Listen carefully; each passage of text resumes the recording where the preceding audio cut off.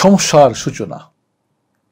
আলহামদুলিল্লাহ ওসালাত ওসালাম রসুলিল্লাহ আলা আলহি ওয়াসাহবিহি ওমান ওয়ালাম্মাবাদ সময় তো প্রিয় ভাই বোনেরা। সমস্যার সূচনা কোথা থেকে হলো? মবিয়া রাজিল্লাহ তার আনহুর মৃত্যুর প্রাককালে তিনি ঘোষণা করলেন, তার পরবর্তী খেলাফতের দায়িত্ব বা রাজ্যের দায়িত্ব নেবে তার ছেলে ইয়াজিদ বিন মহাবিয়া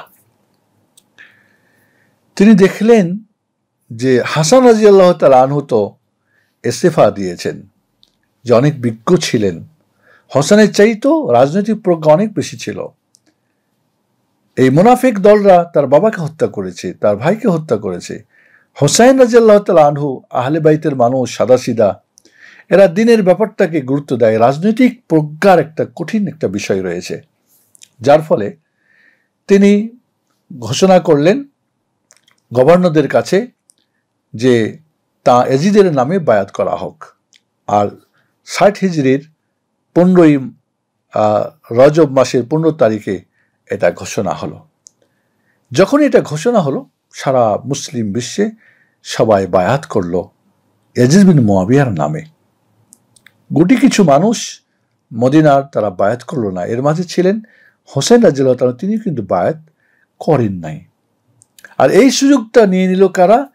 ওই মুনাফিক দল, কুচক্রি দল, রাফেজি, খারিজিরা।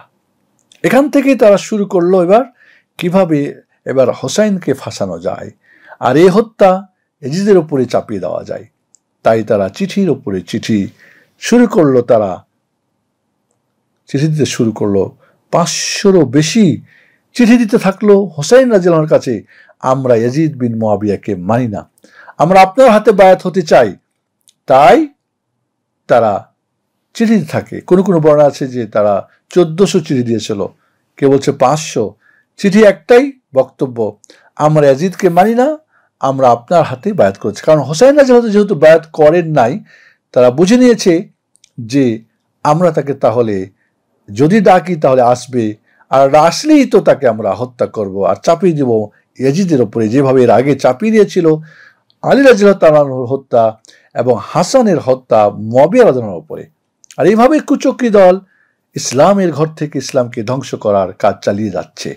এই জন্য প্রিয় বন্ধুরা, এখানেই হলো কি ফেতনার সমস্যার সূচনা। মবিয়া রাজিল্লাহ তালা মারা গেলেন। ইয়াজিদ বিন মবিয়া দায়িত্বে আসলো। এবার হোসেন রাজার কাছে বিষয়টা তারা বারবার চিঠি পাঠাচ্ছে, বারবার চিঠি পাঠাতে প্রতারণা করছে তার সাথে। এবং তাদের আসল যে উদ্দেশ্য, পরবর্তীতে আমরা বুঝব। আল্লাহ আমাদেরকে এই কুচুকৃত থেকে ইসলাম মুসলমানকে হেফাজত করুন। আসসালামু আলাইকুম রহমতুল্লাহি ওবারাকাতু